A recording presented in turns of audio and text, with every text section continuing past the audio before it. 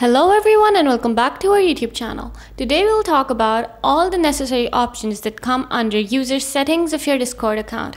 In this video, we'll show you how to edit and change your username, how to set status of your Discord account, how to check all the connected devices to your Discord account, and also how to add someone through the QR code.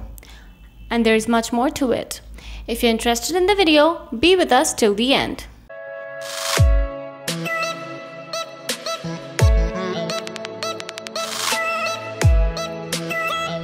Open your Discord app. From the bottom right, tap on the Discord tab. These are the user settings. Just scroll down a bit and you'll see all the user settings. Let's start from the set status. As you click on set status, you'll find these options. You can set your status as online, idle, do not disturb, invisible, or you can even set your custom made status. Now the other option is my account. If you tap on my account from this page, you'll easily be able to change your username, email ID. You'll be able to add a phone number or even change the password. As you scroll down a bit, from enable two-factor auth, you can easily enable the protection on your Discord app. Now from the blocked users, as you tap on this section, you find this section where you have blocked people. You can disable your account or even delete your account from this option. Now, from the user profile, as you click on the other option of user profile, you'll be able to change your profile settings. You can add about yourself in this section. This section will set as your bio on the screen for public or you can even change your custom colors or custom avatars from this section at the top. Now we'll go back.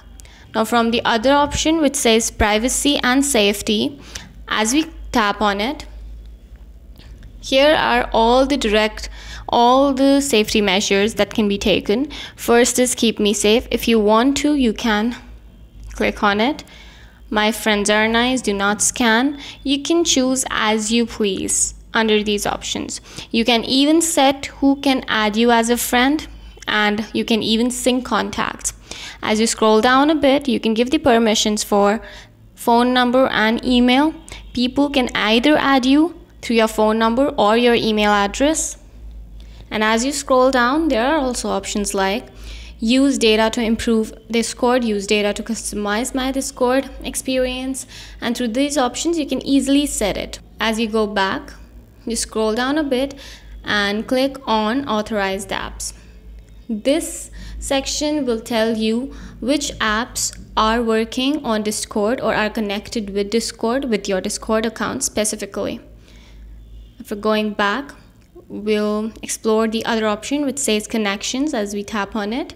This section will show which apps are again connected with your Discord account. Till now only Spotify is connected. You can connect apps uh, like Twitch, Facebook, Instagram and many more. Now we go back and the other option that we see is scan QR code. As we tap on it, by this section, we can scan and add anyone through the QR code. That is it for today's video. We'll see you in the next videos and we'll explore the other options in the next video. Thank you for watching the video till the end. If you liked the video or if it was helpful, do not forget to subscribe our channel and hit the bell icon below so that you get notified each and every single time we upload a new video for you.